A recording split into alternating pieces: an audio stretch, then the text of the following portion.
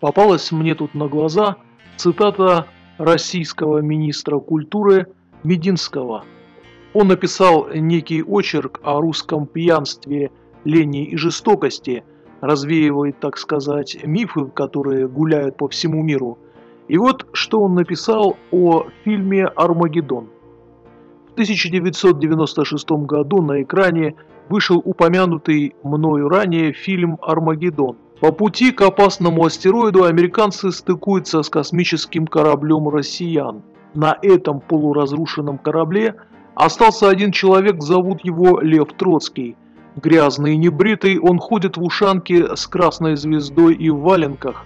В момент прибытия американцев на борт он «чинит корабль», в кавычках, лупит кувалдой по какой-то детали, торчащей из стены. Этот небритый россиянин с чудовищно испитым тупым лицом, в общем, положительный персонаж. Он смел, умен, решителен, помогает американцам и гибнет героически. Но эти валенки, ушанка с красной звездой, кувалда в мохнатой грязной лапе. Поражает просто фантазия Владимира Мединского – не случайно, что его сейчас, слышал я, собираются лишить его докторской диссертации. Действительно, чувак просто абсолютно некомпетентен. Прежде всего, фильм вышел не в 96-м, а в 98-м году. Но, в принципе, это мелочи. Космонавта, который работает на орбите, зовут не Лев Троцкий, а Лев Андропов. И ходит он ни в каких ни валенках, но правда в шапке-ушанке и действительно футболке с звездой на груди. Кстати, он по сюжету не гибнет героически, а наоборот трижды спасает американскую команду. Так вот, в связи с этим мне хотелось бы сказать, чем отличался образ русского у американцев в 90-х годах и какой образ русского у американцев превалирует сейчас. Этот самый русский космонавт Лев Андропов – очень запоминающийся и колоритный персонаж. Играть этого русского пришлось шведскому актеру Питеру Стормаре. У него действительно достаточно отталкивающая внешность, и он всегда играет неких злодеев. Выбирая этого актера, наверняка хотели показать, что русские некие уроды по сравнению с красавчиком Беном Эфликом или с Брюсом Уиллисом. Но что же происходит потом? все эти выхолощенные американские ребята теряются в экстремальной ситуации, а русский лев, лев имеется в виду имя, в нужный момент достает лом и по русской привычке решает все достаточно быстро.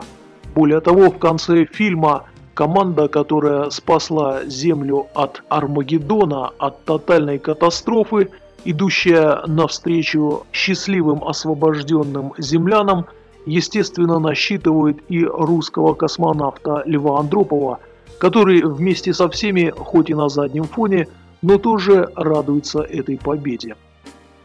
Да, тогда в 90-х годах у американцев были надежды, что с русскими можно работать, что да, они любители выпить, да, они не очень симпатичные ребята, но в нужную минуту подставят свое верное и могучее плечо и даже при помощи лома все равно решат какую-то задачу. Это было в 98 году. Аналогичный фильм, который сейчас можно сравнить с Армагеддоном, это бесспорно фильм «Марсианин» 2015 года с Мэттом Деймоном в главной роли. Посмотрело его только в России 4,5 миллиона человек, это имеется в виду в кинотеатре. Он окупился трижды. Так вот, в фильме, как это обычно делают американцы, идет, естественно, такой скрытый подтекст, информация, которая не считывается всеми, но тем не менее подразумевается. Прежде всего, команда, которая направляется к Марсу, естественно, интернациональная, и капитаном корабля показана женщина, конечно же, американка.